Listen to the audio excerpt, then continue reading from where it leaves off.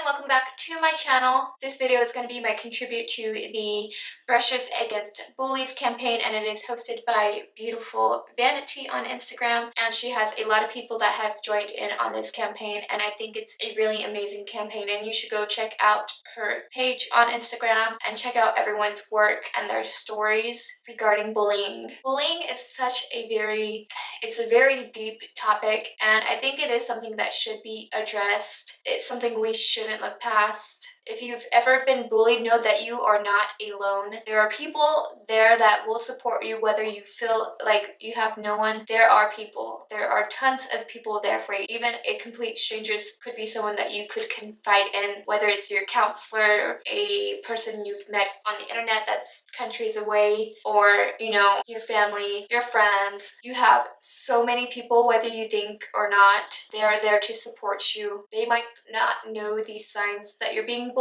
or they can't really recognize it because you're not really confiding in them and telling them what's going on. So if you are being bullied, you need to let someone know as soon as possible so that the issues can get resolved. When it comes to bullying, I feel like the most important thing is to remind yourself of self-love and self-love, it really helps persevere through all the bullying. When Beautiful Vanity asked me to join the collaboration for the Brushes Against Bullies, I was just sitting here thinking like what makeup look should I do because I've noticed everyone else they're putting all this negativity on their body and I didn't really want to portray all the negativity. I wanted to try to keep this positive in a sort of way so I went with the porcelain doll. The face is somewhat shattered but it's still together and I feel like that kind of represents the damage that a bully can do to someone but we are still in one piece no matter how much damage we have received.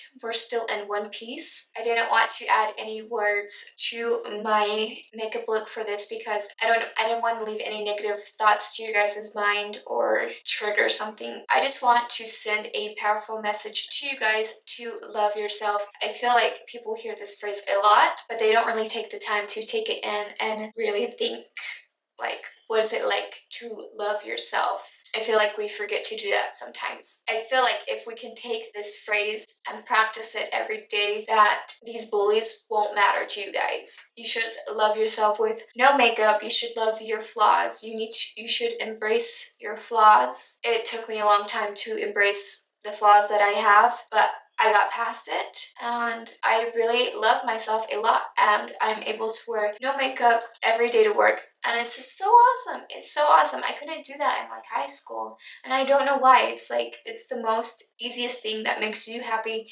is to love yourself and your skin. Love your freckles, your skin, your crooked smile, your five head, your small boobs, your small butt. Love your body, every single cell from head to toe, love yourself. Love yourself enough to not allow bullies to mess with your life. Love yourself enough to speak up. Love yourself because your life means everything to you, to your family, to everyone. Love yourself. I had a bully my entire whole school career from elementary school to high school and this person did mean things, not like the most horrible things, but this person did some pretty messed up things. In middle school, they had this guy pretend to be my boyfriend.